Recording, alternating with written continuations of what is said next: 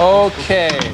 Change furnace filters done. Jettison dry cleaning check. Okay, young fresh fellows. I've got the rest of the afternoon off to talk about some of the questions of the universe. So, any question you might have, ask me. You have my undivided attention. Oh, no, uh, we meant to prepare for this. Please, Crow, let's don't make it like last week when you asked what was the deal with Jane Pauley's hair, okay? I okay? just want- got this idea. Okay, not Jane. Cro- Okay. Does that sound good? Well, well, then you do it. You okay? you I'm gonna you ask- yeah, I'll ask. you, Okay. you you said Joel, Yeah. the Pina Colada song. yeah.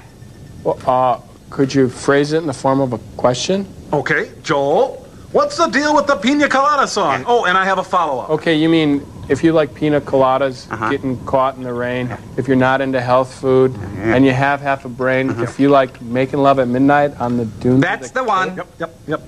Well, okay. Um, all right. In the early 1980s, Rupert Holmes wrote the Pina Colada song because pina coladas and personal ads were on the forefront of uh, the American consciousness. And, you know, pop songwriters do just that. They write about pop culture, you know, like.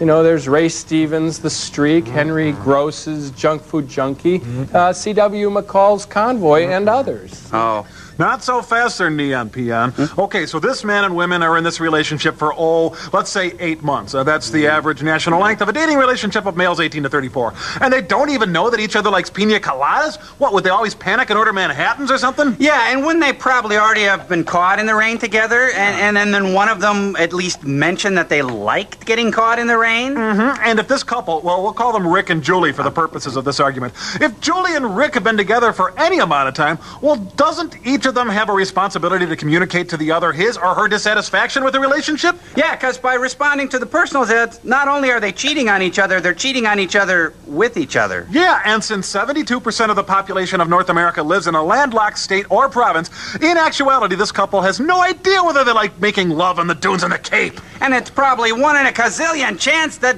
Rick and Julie would actually answer each other's ads. Bingo! And although the song tries to paint a rosy picture of a relationship reborn, it is human nature that either Rick or Julie, maybe both, I don't know, would harbor at least a fragment of resentment that the other set out to cheat on him or her, which would unleash itself in fits of passive aggressive behavior and bitter recrimination. Okay, listen. All I'm saying is that Rupert Holmes wrote a song about a couple of popular trends, all right? It doesn't make the hurt go away. We don't blame you, Joel.